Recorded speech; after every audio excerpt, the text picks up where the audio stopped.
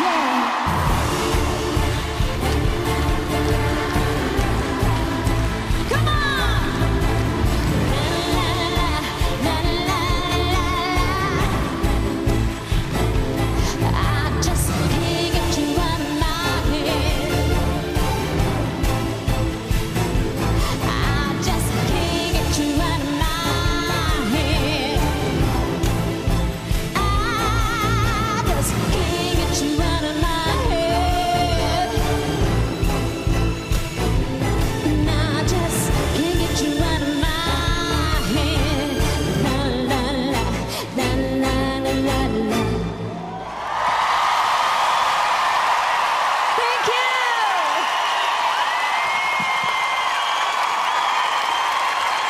with her own private army, Kylie Minogue.